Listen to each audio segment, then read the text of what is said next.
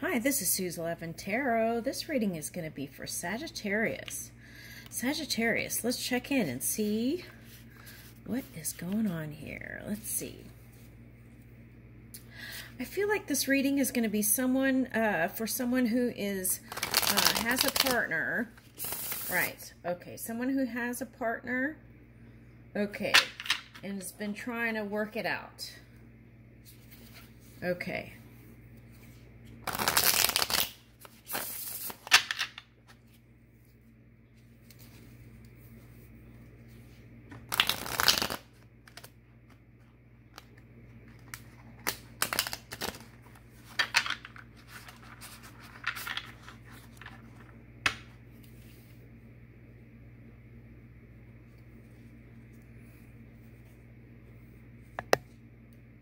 Okay, let's see here. Let's get started.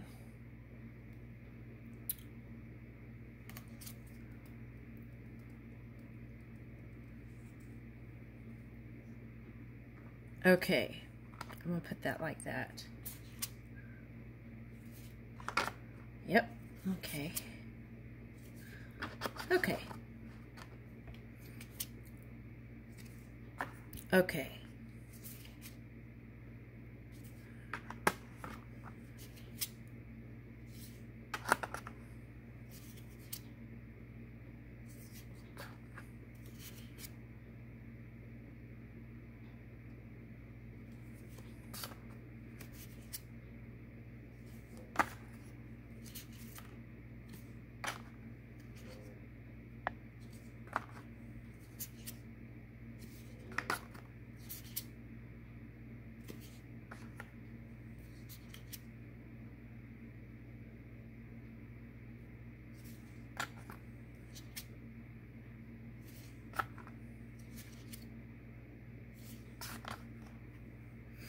Okay, a lot of this is past, and then this is where you are now, I feel like.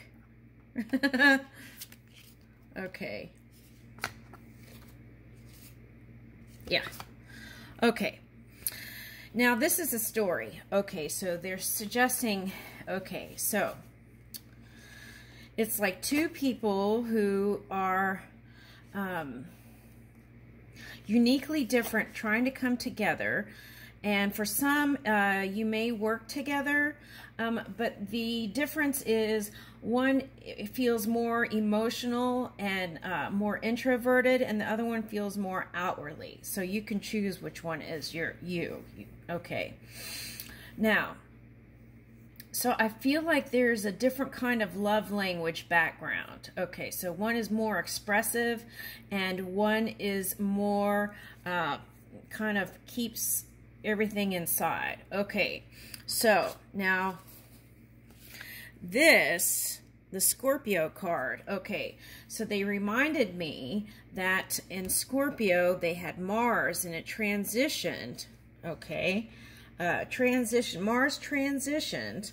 So Scorpio's probably been showing up in a lot of Sagittarius readings and probably because it's that Mars energy also uh, coming into um, yeah. Coming into Sagittarius. Okay, so it's it's actually, I feel like it's been there. Okay, so um, now with that, there were some changes. Okay, so Venus went from Scorpio to Sagittarius to Capricorn. Okay, so there were a little bit of shifts going on in between. So you, if you felt like love went out the door, just know that there is that return here with the judgment, okay? All right, so let's see. Focus it here, yeah, okay. Judgment, okay. All right. Let's see if I can get it more focused here. Okay, yeah. Okay, so know that there is that return. So where there may have been a period where you all kind of uh, stayed away from each other and uh, and were reconsidering the relationship, okay? All right, now, here is the Empress card, and I feel like that's you, okay, wanting to birth the new. And some of you have created some things, and now it's like uh, you're wanting to uh, milk it, right? And uh, and bring it to the light of day and bring it uh, to different places because that uh, Mercury energy. Okay, so Mercury um, is also supporting. So it's like the key with that Mercury in Sagittarius now, and I said this a couple months ago, is to not talk over people and listen more and really pay attention to what the other person is saying, right? It's like not looking for the next thing to say in the conversation, but just really connecting, like eye contact, and really listening to the other person. Okay, so it's like not using, uh, like I would picked up back then when that was going on, was one up energy, right? Saying the next coolest thing or the next greatest thing, or it's like just pausing, taking a deep breath, and just really soaking it in and just kind of like listening, right? And then I felt like that would bring success. Uh, that was a couple months ago to the relationship. Now, maybe that happened and maybe it didn't, right? okay. And, and probably some of you actually probably were mad about that. okay. All right, so then, um, so this is the Three of Pentacles reverse, not wanting to work on it or compromise on, at some level. Okay, now, that could be on your side or the other person's side too. All right, due to different upbringing and love language. Okay, so, okay, so Page of Wands. So, there is that sexual connection that's nice. Okay, but um, I feel like work kind of had that on the back burner. Okay. All right. So now what? Okay. So then, okay. Okay. So then you, were like, okay, can I keep doing this? Okay. But choosing to be passive and in the relationship and not actually voicing anything. It's like just trying to keep the peace and staying quiet, but not really communicating uh, a certain degree of discomfort. Okay. All right, so Eight of Swords and Hierophant reverse. For some of you, one wanted marriage and the other one didn't.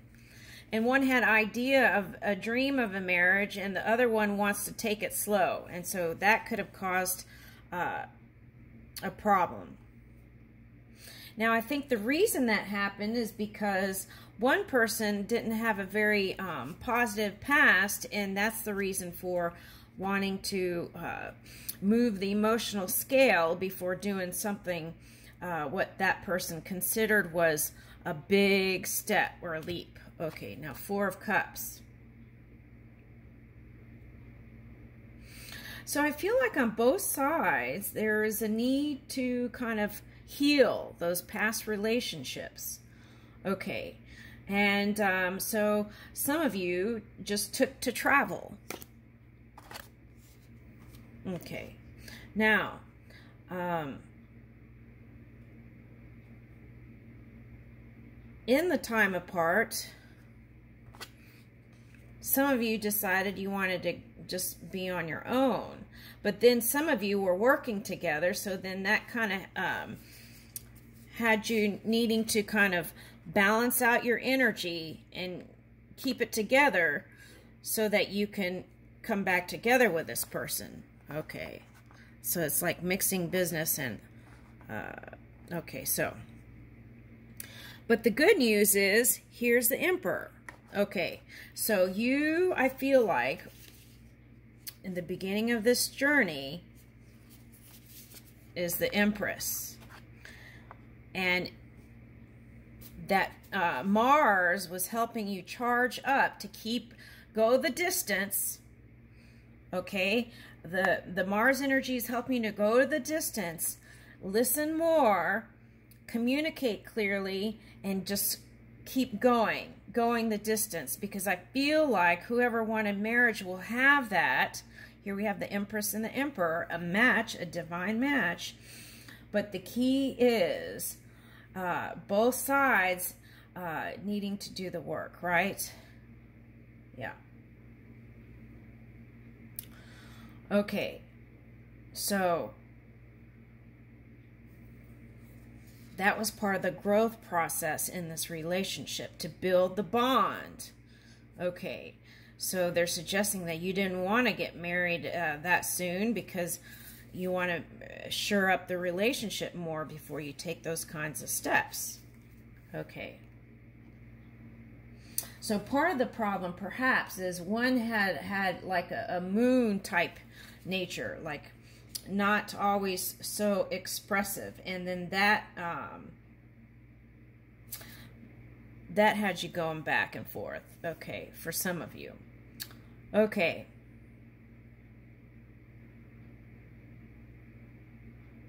So for some of you, you felt like the other person was hiding something for some. Okay.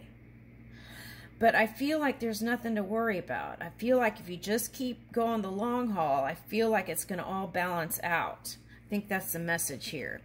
You've got that uh, Mars energy supporting you. The key is not to go an extreme negative with that Mars in there.